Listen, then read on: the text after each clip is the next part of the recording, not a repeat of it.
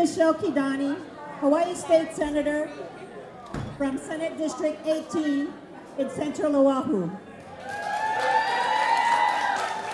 During the past six years in the Senate, I have been very privileged to work closely with and to be mentored by my friend, my colleague, David Ige. The past four years, I've worked very closely with him, serving as his vice chair of the Senate Committee on Ways and Means. About a year ago, when David announced to his colleagues that he intended to run for governor, I can tell you that more than a few of them scratched their heads and asked why. Why would David give up a sure re-election to his Senate seat and take on the tremendous, tremendous task of trying to unseat a governor, an incumbent governor who had millions and millions and millions and millions of dollars. But I thought about it. And for those of you who know David, you know that the reason he did this is because David followed his heart. He did what he usually does. He looked at the pros and cons, he contemplated, and he decided that he had no, no choice but to come forward because he believed that he could be the leader that our beloved Hawaii needed.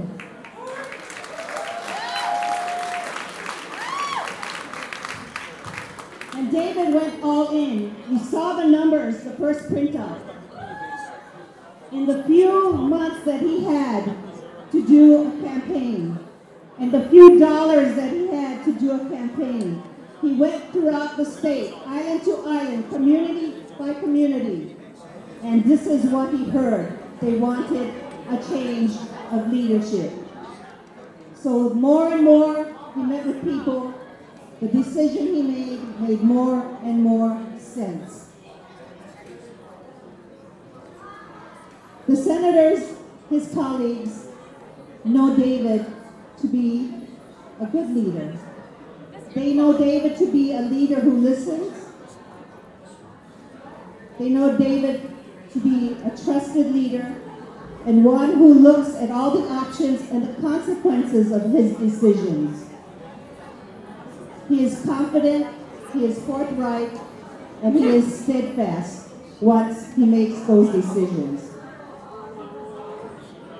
I know David Ige as someone who, in his own words, says he would rather do good than look good.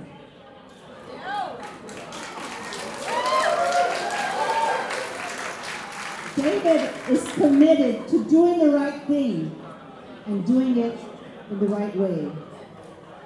David is a person that we can all respect as a right leader for our Hawaii.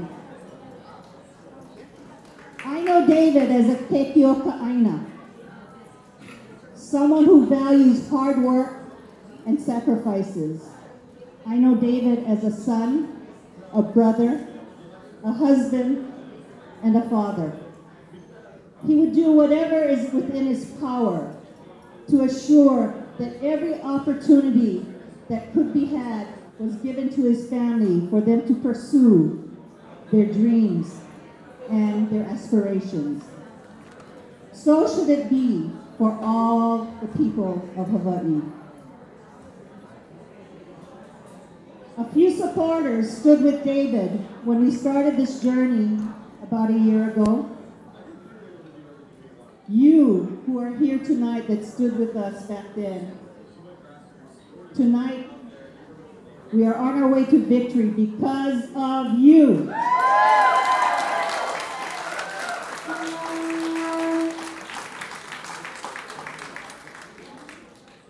Supporters saw in David Ige what we saw in David Ige, and they brought in other supporters. Mahalo to all of you because you are the whirlwind that created this, this victory that we are on our road tonight, that we are on our way tonight. But remember, in victory, we will still need support. And I know that you guys have lots and lots of aloha for David. So we will take some time off and regroup after tonight, but we need to be strong. We have, this is the beginning of a very long journey. Local comedian Andy Bumatai, not too long ago, on his TV show In the Car, had David Ige in the car with him, and he asked David this.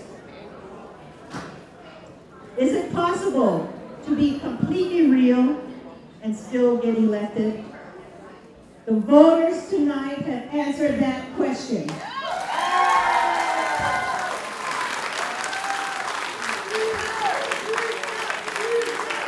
have cast their vote for someone who will be a great leader.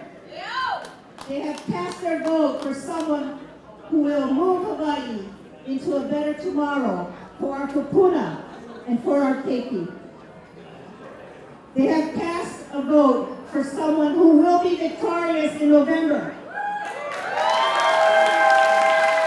And they have cast their vote for someone who is completely real, David Ige.